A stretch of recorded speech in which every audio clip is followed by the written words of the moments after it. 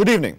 India's human computer, also known as the mental calculator, math whiz Shakuntala Devi, passed away early on early Sunday, uh, aged 83. Ms. Devi, who was suffering from respiratory problems and later developed heart and kidney complications, had been in a Bangalore hospital for two weeks. Ms. Devi held the Guinness World Record for her lightning speed calculations. Among her distinctions was her ability to, given a date in the last century, mentally ascertain the day.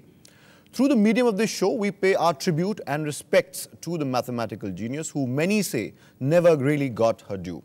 And that's the central theme of the big picture tonight. India is a country that produces heroes that never really get their due. You and I are often guilty of making demigods out of just two kinds of heroes, cricketers and film stars. In a country of 1.2 billion people, there are countless heroes who excel at what they do in their chosen fields, be it sports, science, literature, the arts, diplomacy, social workers, activists, I could go on. But the point is this, why do these heroes become unsung most of the time? Why is this country so obsessed with idolizing just film stars and cricketers? Is it just the illusion of glamour? Is the frenzy media-generated hype? Why does every child in the country want to emulate a Sachin Tendulkar and not an MS Swaminathan? And that's just one example, not taking anything away from the great opener. Let's talk about this tonight on The Big Picture. Why do Indian heroes who are non-cricketers and are not huge film stars ever get their due? And even if they do, can they match the kind of admiration, loyalty, respect and recognition that the Bollywood demigods and our cricketing crackerjacks get?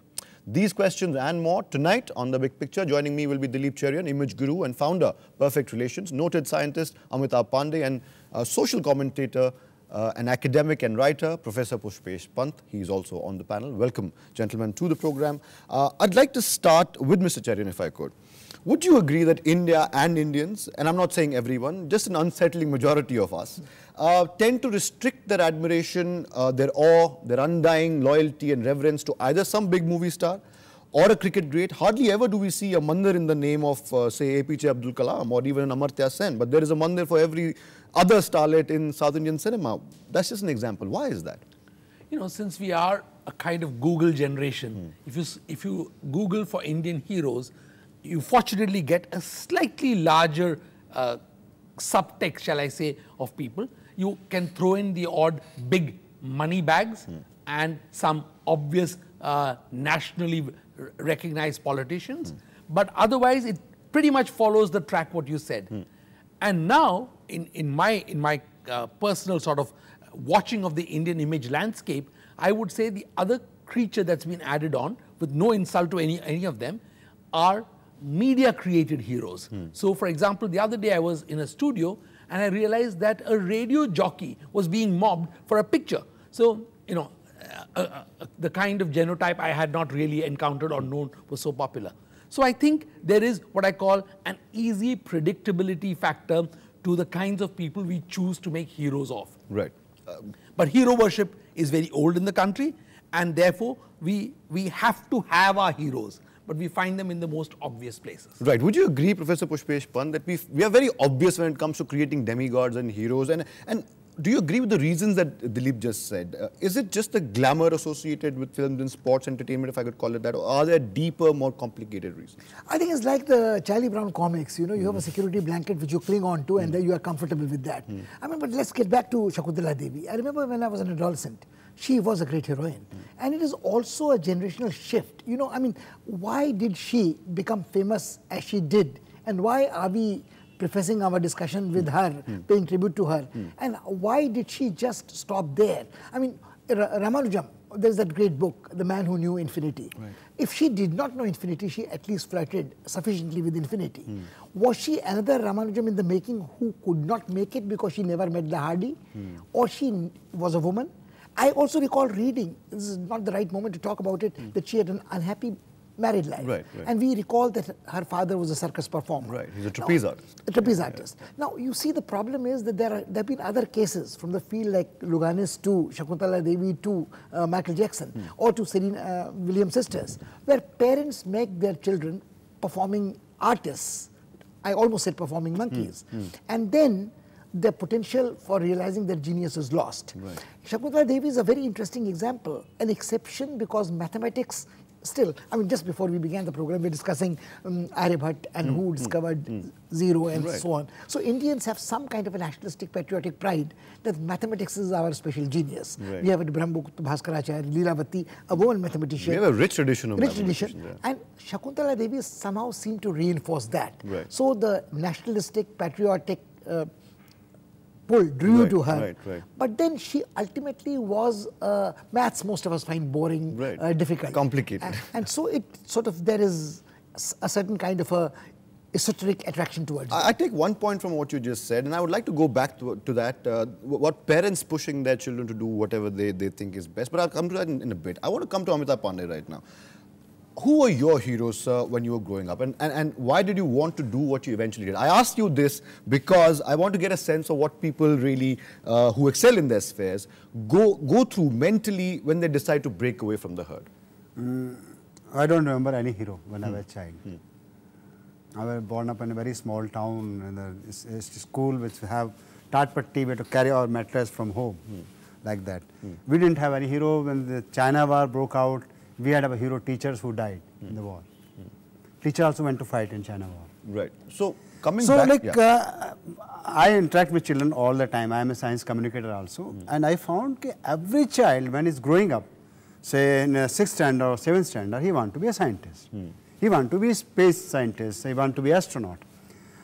Something happened in our education. Dr. Pushpesh will tell us, tell you better. Something happened, and that this scientist is killed. This artist is killed. Every child is an artist, natural artist. Picasso said that artist is a person who always remain a child. Hmm. So we have we have we have mastered this art of killing a talent, a hero in a child. In a child. So do you think our education system is to blame for that, or just that, and many other reasons as well? yeah, this main very important responsibility goes to education system. Then comes media. Hmm. Media creates hero. The, all these hero that we are the, river and I believe they- they are the media created hero, like hmm. cricketers, film stars. Hmm. Without media, they will die like a fish out of water. Right. But their real heroes are still, like say, looked up. Hmm. And real heroes are like say our uh, soldiers fighting war at the border, our scientists. Uh, when I go to small town villages, people think I am some kind of god. They take my autograph. I said I am not some great scientist. Believe me. No, they. So thing is that we have to nurture this thing in every child. This number game. I said a sheer number game. 80% of our talents are killed because they can't. They don't have access to good school. Uh, in villages, small towns.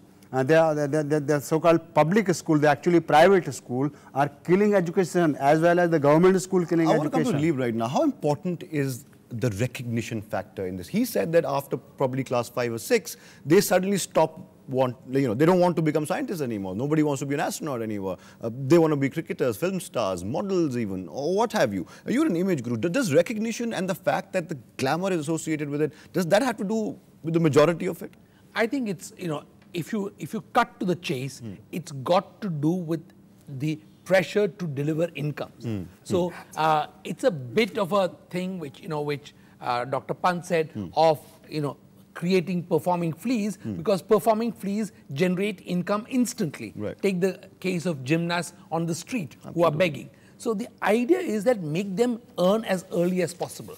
And I think there is that this is probably the first generation in India which has, in a sense, at some level, in numbers, in significant numbers, broken free of this shackles of needing an income instantly. Right. Which is why you're seeing now you're seeing chefs, you're seeing trapeze artists, you're seeing uh, puppeteers. You know, you're seeing a new flowering, as it were. So perhaps we'll have to wait for this economic confidence or this kind of safety net to grow for a while before parents will allow their children to follow their real But heroes. that economic confidence hasn't come or even touched the Indian middle class. No, Would it you hasn't. agree? It, hasn't. Uh, we'll come back to this. I want to come to Professor Pushpesh Pant in just a bit with the question that I had him for. But first, we'll take a small break. A very interesting discussion coming up on the big picture. Don't go anywhere. Stay tuned.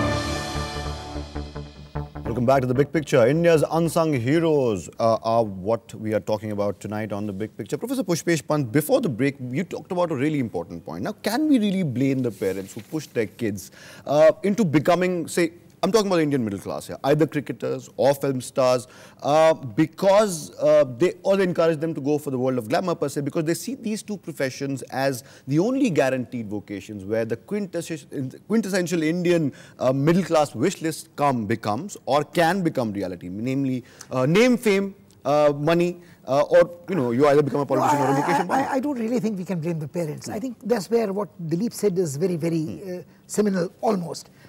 Is the media which creates that these are the stereotypes where the money can be made and made astronomically. Hmm. Just before we entered this studio, hmm. again with Amitabh, we were having this discussion in his place of origin, Bhind and Ravines, and Pan Singh Tomar came Right, up. right. And you could even bring Phoolan Devi before that. You can bring Raja Man Singh before that, Daku Lakka, hmm. etc. But the point is that that you have a country where a cricketer, a one-time appearance, can give you hundreds of millions of rupees in prize money, endorsements, etc. You could have a boxer who gets a bronze medal and becomes almost a national hero for 15 minutes of his celebrity, and next day from a hero to villain. Uh, and then, of course, he refuses to go for a drug test and goes after the three month uh, cooling period is over. Right. And there's this interesting discussion. So, I think if, as long as the media lets the parents get the impression that their child will make millions if he can become a cricketer or a film star. And there's an- another interesting element here. You think that there is a game in a casino. You are the you are gambling. If you gamble on your child becoming a cricketer, even an IP league uh, appearance would be Khulja Simsim. Right. But if he is supposed to toil as a neurosurgeon mm. or an agricultural scientist. Seven years, study medicine. No, forget about study. Mm. The funding of the medicine, mm. education, I mean, you, you are not spending that kind of thing, you know. Mm. cricket by chance वाला जो right, मुहावरा right, right, है. Right. So all parents believe that the run of the luck will be in their child's favor. Hmm. So it is that this lottery element. If you contest an election and win, winner takes all. Right. So this society this democracy, so-called democracy, which allows the winner to take all. How do you blame a parent for that? You So- can't really blame the No, parents then. It's the system then. Before I come to Amitabh Pandey, I want to go very quickly to Mr. Dilip Cherian now. But even these two worlds, and I, I'm pretty sure you're associated with both of them and you know um, the inner workings of these. Um, films and cricket, they're also part of an illusion that, oh, these people have such fantastic lives and they lead these glamorous lives and uh, they earn so much money, fame, respect, what have you. Um, doing something that most people believe, and I know this is a myth, uh, that they're doing easy jobs and that, that their job is so easy, I could do it better sitting here and blah, blah, blah. But people think like that. Do you think that's also part of that illusion and that, that, that is something we suffer from? You know, it's it's partially an illusion, but also remember the best way to measure whether a career or a, a kind of chosen profession is something which is actually easier than it is, is to see whether the number of children of successful parents being pushed into that profession is high or not. Right. So what is happening is that the world of films clearly, hmm. though there are there are great new artists born a minute, there hmm. are Vidya Balans being flung at you, all of that, but at the end of the day, the proof of the pudding is that the number of star parents who are pushing their children into that is proof that the living's easy. Yes. And, and I think and I think we have to see that in the case of politicians because the way politics has now become an inherited profession Hmm. is further proof that we think it's it's no longer the heroism which is pushing you in there. It's just a It good is- life. It is just the good life Hmm. and the what I call uh, ROI, return on investment. Hmm. The amount you invest, you know, you get your returns are unmeasurably higher. Right. So to create a hero as a society, Shakuntala Devi is a great example, and all of us belong to a certain generation which saw her perform like a flea in school and said, oh, wow, maths. Why doesn't an Indian corporate, for example, invest in a in a maths bee, like a spelling Like a bee spelling bee, contest? yeah, you know, and given the fact that we have this native genius for maths, we should really be looking at creating a mathematical hero Hmm. who then allows their full genius to flower. But we don't even do that. So the what I mean is the hotbed to create heroes also does not exist. Right. So that's a, that's a That brings me to the next question, and Amitabh Pandey, I want to ask you this. How far do you think successive administration, I'm not talking about one particular government, but generally the system as a whole, has failed in one, giving unsung heroes their due, and I'm not talking about money or awards, I'm talking about recognition and respect as well. Uh, and two, to evoke interest in fields like, you know, that, that people won't really talk about otherwise. Uh, that India has a wealth of talent in mathematics, for example. We have brilliant scientists, doctors, uh, research and development, R&D. Um, what have you, whatever. But do you think successive governments have, you know, failed at some level like that? Mm, uh, like the uh, people say Pakistan is a failed state, I also believe India is a failed state. In that particular respect. India is a failed state in a sense that 80% of masses, Dalits, hmm. uh, uh, tribals, OBC, they still not come up to the like say level of the citizen. They treated as second grade citizen. And the women, they are not got due in parliament, 35% seat they are asking for not something big they have not got it yet. So, the pool of talent in our society, mm, say 90 percent uh, pool is wasted, wasting away in the school where there is no blackboard, where there is no teacher, there is a roof, there is no roof over, over their head. So, how we expect to have heroes in this country? Right. To have heroes, we have to have a, a every child should get his due in education, in, in say that the chance in life to come up, hmm. then we can have heroes. Heroes are made in, in, in everyday life. So then we can expect, say, if we, if we can have, make India become a, success, a real nation, hmm. where the, the nation take care of children, the republic take care of children, then only we can hope in, say, next 20 or 30 years, we may have talents, we may have heroes, we may have great... it's a long, long, long path ahead. Long, Professor Pushpesh Pant, do you agree that we have failed as a state as a nation to promote these these uh, I, I, would agree entirely with Amitabh. I would say that we have not only failed to promote these potential heroes, we have failed in on various fronts. Mm. And the reasons he has given, I would not like to repeat. Mm. I think it's a sad commentary that uh, we have a film Bhaag Milkha Bhaag mm. celebrating the heroism or the role model, trying to project a role model of an athlete who missed the bronze medal by the tenth of a second about half a century that, back. That says a lot about us. That says it? a lot yeah, about yeah, us that yeah. we and also how many people would remember poor Milkha Singh. Hmm. If Jeev Milkha was not a more glamorous golfer uh, getting international Probably, probably we won't. My generation probably wouldn't. And I'm being very honest here. Dilip, do you think that we suffer from that kind of a, a mentality that uh, Milkha Singh was a great athlete, no doubt about it. Uh, but he missed the bronze and he, he never stood on the podium in the Olympics. But we still are lionizing him, we're idolizing him. We lionize Kalpana Chawla, who was an NRI. Absolutely. We would have uh, Sunita Williams, who's there. We, who's we try to claim Harbind Khorana's Nobel Prize. We try to claim Are we, are we Prize so short of heroes inside the country? I think we are short of, I said the first thing is the the recognition of the appropriate heroes. Absolutely. You know, one, one kind of thing which is actually now emerging, and I'm glad it is, it's a good sign since we're all talking gloom and doom here, mm -hmm. is that for the first time I'm seeing that social change heroes are being made much of. Mm. Perhaps this is a harbinger of the fact that government is going to impose pressure on corporates to spend money on CSR. Mm. But for the first time you're seeing that some people who are generating social change are being recognized and are being seen as heroes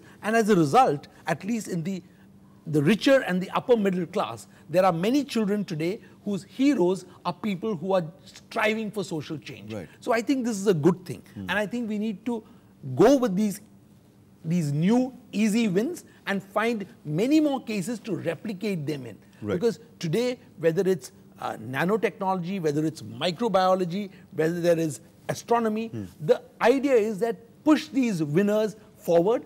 Media has to play a role, hmm. and without, and fortunately, social media today can do a part of that. You know, the the flexibility is available. So I think there is room, and I think India has a long way to go. I agree with both these gentlemen hmm. that we've failed miserably as a state in mm. doing it, as, as a society, I would say. Right. And I think that opportunities now exist. Can you imagine the potential heroes who will be unlocked if actually these children were to go to school, people who wanted to or get know, proper playgrounds, or get just or get just proper nutrition. Absolutely, you know, absolutely. We'll take a small break right now. I'm going to come back to my three guests and, and discuss the role of the media, which is very critical, and all my guests would agree, very critical uh, in this particular issue. Take a break, come back. The big picture continues after the break. Welcome back to the big picture. Amitabh Pandey, let me ask you this. Uh, media is something that uh, Dilip Cherian specializes in, but what's your view on it? How has the media really played? The media, Indian media, electronic media particularly, is not a very, very old animal. It's a new animal, relatively new animal. But do you think the last 10, 15 years, because we all agree that Indian media, electronic media has sort of dumbed down. I don't think anyone would, would, would dispute that. But do you think that also had a negative impact on the kind of heroes we actually want to prop up? Yes, that uh, most of the, the electronic media which is dominant is uh, private channels and they are TRP driven and the TRP driven madness actually is uh, uh, another culprit Right. in this. So uh, they are, let's say, that's uh, five minutes of fame people are looking for, so they are So you do agree that the media has played a sort of uh, role yeah, that yeah, yeah, the, uh, the pictures you see most of the time, others, uh, uh, uh, the bomb blast, of course, you have to report that, and then go mad after that. Like say that's just repeating the same thing, and then the real thing that is uh, coming on the, the country's real problems are hardly mentioned, hardly mentioned. So the people working in those areas are uh, nowhere in the in the big picture. Right, right. So we don't really see, uh, you know, uh, prime time, uh, daytime prime time. We don't really see anyone I- showing documentaries. We I see think- soap opera No, stars. I, I- think what Amitabh is saying has a deeper level to it. Hmm, I think we, the media should realize that all heroes are not necessarily celebrities, Right. but they deserve to be celebrities before they become role models. Absolutely, And yeah. all celebrities cannot possibly be projected as heroes all the time. We talked of the broadening of the category of heroes, the chefs and the others. But the problem is that you still are trying to focus that if you become a celebrity chef, life would be easier, you would be richer. Absolutely. Now, the point is that if what he talks about, the real hero is one who may not be rich, one who who may not be beautiful, Hmm. but he's been bold enough to put his neck on the chopper to save somebody. Right. So I think true heroism is to grappling with challenges which confront this nation. But the media doesn't like such heroes. They, they, they find them boring. You know, Amitabh mentioned the problem of TRPs, but the quintessential factor of the media today is jhalak dikha de. You know, it's basically You hit the nail okay? bang on the head, So yes. it's it's can you can you reduce this to a bite-sized 15 seconds of expression of beauty and a glimpse of great talent? You know, the fact is that real talent cannot express itself. Just simply cannot express itself in In that compressed in- in- capsule. in 15 second bites. Meaning, you know, some of us are, are trained performing fleas for television, but other than that, a real thinking person would have difficulty in being able to compress it, to say it succinctly, and to perform to please. Has the dumbing down of the media, sir, also is also is that a result? And I think you might agree, is also a result of generally the kind of entertainment that we as a society want to watch. We have dumbed down, and hence the media has. In fact, I, I tend to not blame media entirely for hmm, this hmm. because I always say the master of the TRP is sitting in each home with a with a remote in their hand. Right. So that that aside, I think you know what is what is also missing is that because we have as a nation are so richly endowed in history, we don't give history or, or these historic trends importance anymore. Right. So for example, what Pushpesh mentioned, a chef who can turn out an omelette in 14 seconds is a great hero, hmm. but somebody who uncovers a great recipe is not a hero or a heroine.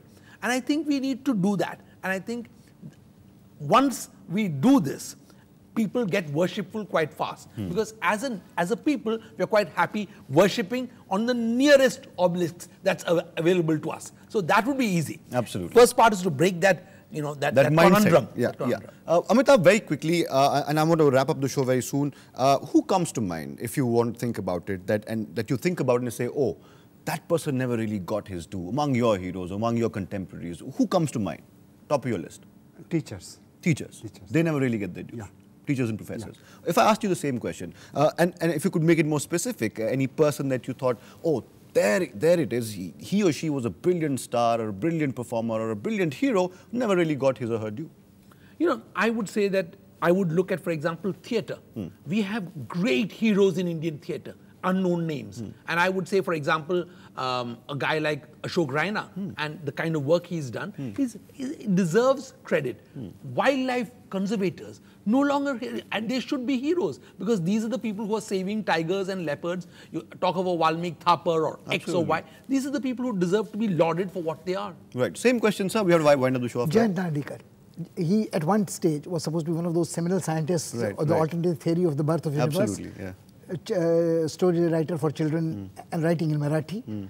A great person. never made it to the fellowship of the Royal Society, and the Thappa was not there, and the Indians ceased to take interest in him. Right. On that note, sir, I'm running out of time. I must thank all you gentlemen for coming on this show. It was really interesting show, and I think my uh, our audience also got some interesting insights from Amitabh Pandey. Thank you so much for joining us, Mr. Dilip Cherian as well as Professor Pushpesh Pant. That's all the time we have on the Big Picture tonight. Athar Khan saying goodbye, good night, and thank you for watching.